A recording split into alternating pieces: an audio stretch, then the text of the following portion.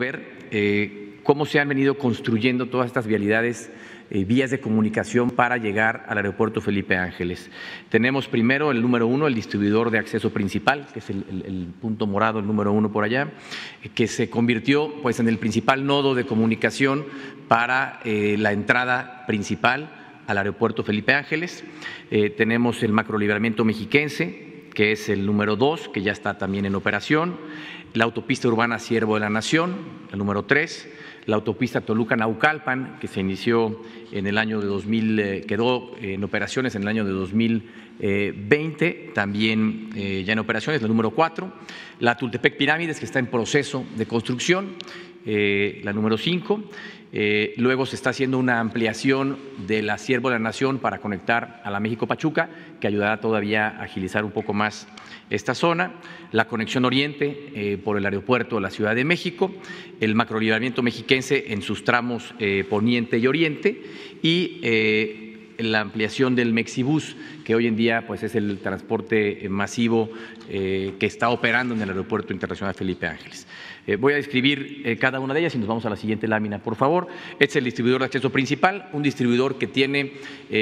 pues nos lleva de la Ciudad de México o de Texcoco hacia el Aeropuerto Felipe Ángeles, también de la zona de Naucalpan, o la zona poniente del Valle de México al aeropuerto Felipe Ángeles y de la zona de Querétaro o Zumpango al mismo aeropuerto. Es, yo diría, eh, uno de los principales nodos de acceso al aeropuerto. Eh, en su totalidad, si desenredáramos este distribuidor, equivale a 8 kilómetros de longitud, es del segundo distribuidor más grande que hay en todo el país. Y vemos en la, en la gráfica inferior cómo ha eh, ido incrementando el flujo de vehículos desde que inició operaciones el 21 de marzo.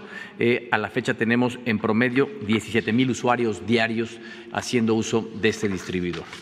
En la siguiente nos vamos a lo que es el macrolibramiento mexiquense. Aquí lo dividiría en dos partes. Una eh, son eh, unas gasas de incorporación que se eh, realizaron en una primera etapa a la altura de insurgentes, el embovedamiento del río de los Remedios para también mejorar toda esa zona eh, pues que tiene el río, que tenía el río de los Remedios de manera abierta y lo que generaba contaminación también a las zonas aledañas de esta región, se embovedó el río de los Remedios y sobre el río de los Remedios se construyó esta eh, ampliación del macrolibramiento mexiquense que conecta lo que es la autopista México-Pachuca o Insurgentes Norte con lo que es la autopista urbana Siervo de la Nación.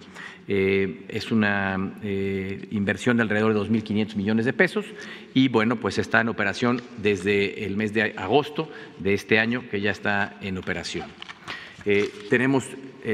la tercera, que es la autopista urbana Siervo de la Nación,